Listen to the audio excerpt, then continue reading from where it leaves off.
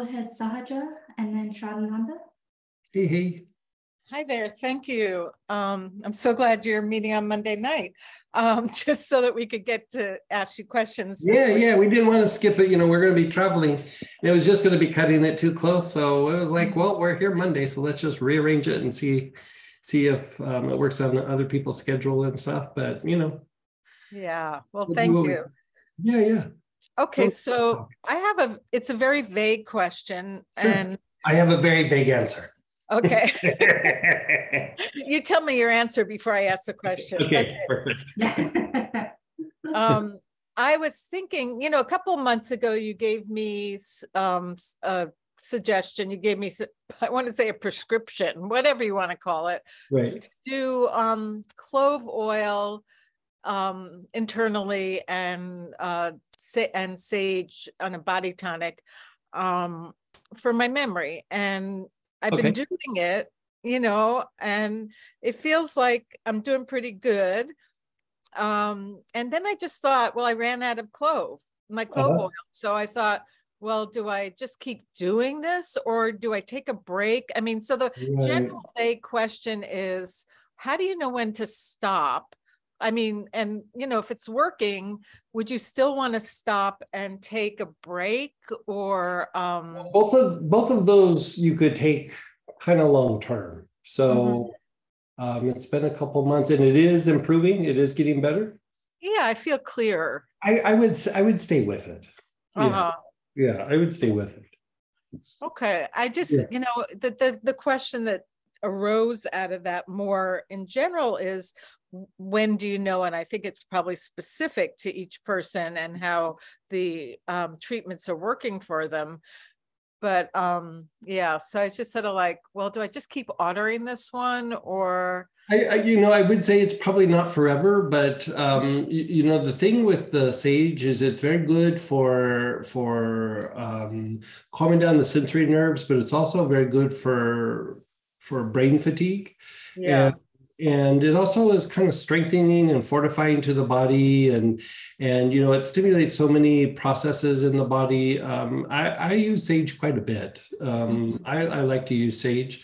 I think it's a great long-term thing to use for for health issues. And you know even if it's just for reducing brain fatigue i think that's um, always super solid. Um, and then the the clove i mean it has a lot of good things. I would say clove is really kind of underutilized in the in the West. You know, in Europe they use it, uh, especially in France, they use it um, quite a bit. But you know, he, here people don't use uh, essential oils internally like they do in Europe and in France. You know, we I mean we use them here when we talk, but I mean, you know, most times people are just diffusing them or applying them to the skin, and so you, you know, people have a, slightly different take on how to use essential oils here in the US because of that. And, you know, clove is um, qu- quite amazing in its little area that it's able to treat. And um, I, I, really think in the in the U.S., you know, I, I can't speak for Europe, but in the U.S., uh, clove is very underutilized. You know, it's it's it's really quite amazing, and so you know, if you're having improvement and it's something that you can take long term, which both of these are, I, I, I would just keep using it. Yeah. Okay. Okay, you know, there's other things where you do have to take a break. Like a good example is yarrow. You know, yarrow after about three or four weeks, you got to take a little bit of a break, uh-huh.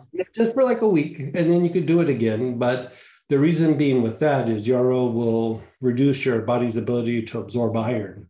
So there's reasons why you would stop and and then start up again. But clove and sage, pretty solid. Like you could use them, you know, sage you could use as a tonic for a very long period of time. And the, the interesting thing about sage is not only does it um, help with brain fatigue, it actually helps protect the, the nerves. And so it really diminishes the tendency for nerves to be damaged or impacted by toxicity in the body or being overstimulated, being um, uh, affected by inflammation.